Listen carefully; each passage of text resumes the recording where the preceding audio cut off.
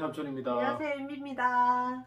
그 둘이 광고 TV에서 질문이 올라왔는데 제가 이제 영상으로 답변해 드리려고 그러거든요. 네. 질문 한번 읽어봐 주세요. 안녕하세요. 저는 두리 TV 시청자입니다. 다름이 아니고 반려견에 대해 궁금한 게 있어서 여쭤보려고 하는데 괜찮을까요? 라고 하셨거든요. 네. 이게 동영상을 보내주셨어요. 네. 이 행동을 왜 하는지 궁금합니다. 하고. 동영상을 탁 띄워 드릴게요.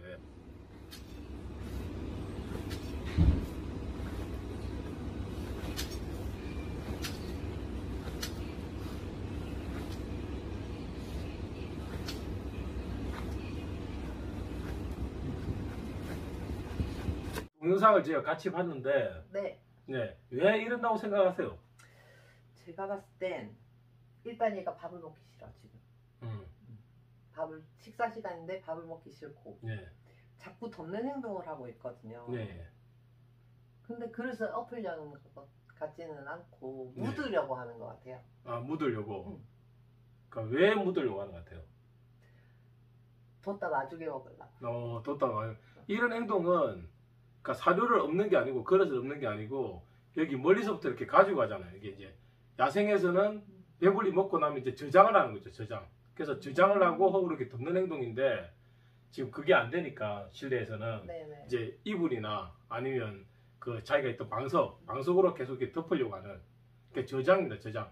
지금 내가 충분히 먹고 싶으면 먹었어. 아니면 내가 이제 먹기 좀 싫어. 지금 배가 고프지 네. 배가 불러서 싫을 수도 있고, 어, 좀 먹기 싫을 수도 있고, 그래서 저장을 해두려고 나중에 먹으려고 이렇게 묻는 게 본능적인 행동이에요. 음. 뭐 특별히 질병이 있거나 문제가 있는 건 아니고. 근데 그런 행동을 하다 보면 애들이요, 코가 잘 까져요. 아 맞아요. 네, 코가 잘 상처 까져요. 있는 애들 상처가 나죠, 그죠? 맞아요. 뭐 흙에서도 막 까지지만, 음. 또 흙을, 그, 그릇 가쪽에 그죠, 그렇게도 까지고, 또 이불에도 이렇게 하면 마찰 때문에 까지기 때문에, 그 까지는 게 싫으면, 아, 이건 본능적인 행동이지만, 좀 남은 사료를 치워주시면, 이제, 이렇게 까지는 거, 코가 까지는 걸 예방을 할 수가 있고요. 또 아니면 그냥 코 까질 정도로 하지 않고 그냥 이렇게 덮는 신용만 하면, 아, 이건 본능적인 행동이니까 그냥 그렇게 두셔도 됩니다. 저 제 생각에는 네. 치워주는 게 좋을 것 같아요. 그죠? 음. 요 왜냐면- 까지는 것 때문에. 아니요. 아니요. 예, 예, 그러면. 굳이 지금 먹기 싫어서 음. 뒀다 먹겠다는데 음. 그걸 줄 필요가 있을까? 그러니까 저희는 자유급식이 안 되는 것 같아요. 음. 보통 자유급식이 되는 애들은 그걸 덮는 행동을 안 해요. 음. 그리고 자유급식이 안 되면 먹는 양만큼만 줘야 되는데 이 자유급식도 아니야. 그런데 또 양이 많아. 많아. 음. 근데 애가 덮는 행동을 하는 거거든요.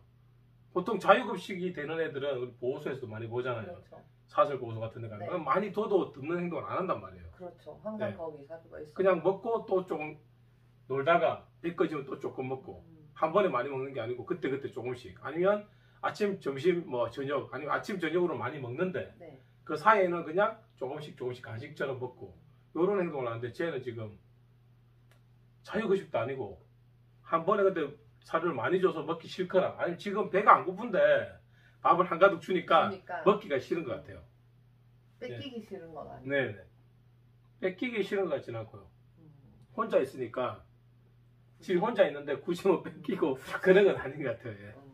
네, 여기까지 하면 충분한 그 답변이 되었을 것 같습니다.